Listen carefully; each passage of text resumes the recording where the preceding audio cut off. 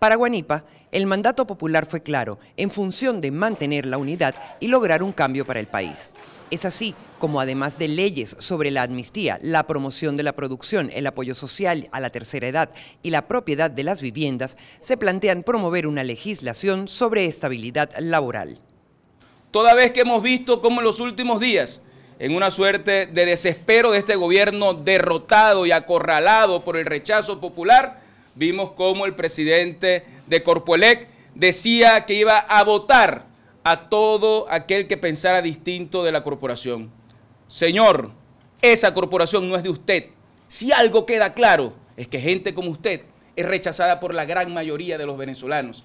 Y hablar de la persecución a trabajadores no es más que demostrar el profundo desprecio que se siente por un pueblo que lo que espera es tener un gobierno que trabaje en función de ellos. Ante el llamado hecho por el partido de gobierno PCV para que sus militantes marchen a la Asamblea Nacional el próximo 5 de enero, Guanipa se mostró tranquilo. Que convoquen lo que quieran, nosotros vamos a convocar a nuestra gente y la gente va a salir masivamente. Si ese es el día de celebración del triunfo electoral que tuvimos, tuvimos casi el 60% de los votos, 18 estados que ganamos, el 67% de los cargos de elección de la Asamblea Nacional.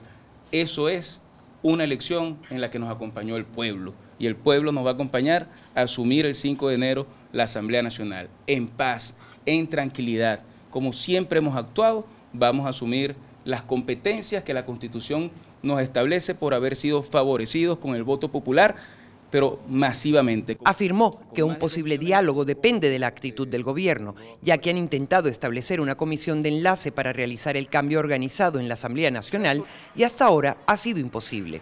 Están tan embriagados de poder que no se dieron cuenta que perdieron las elecciones que no se dieron cuenta que son 55 diputados frente a 102, que no se dan cuenta que el diálogo y el respeto tiene que ser lo que marque la nueva Asamblea Nacional, que no han querido ni siquiera sentarse con esta nueva mayoría, que eso no es un desprecio a nosotros, sino un desprecio al pueblo de Venezuela, que en casi 60% votó por un cambio en el país. Entonces, por supuesto que estamos abiertos a cualquier discusión.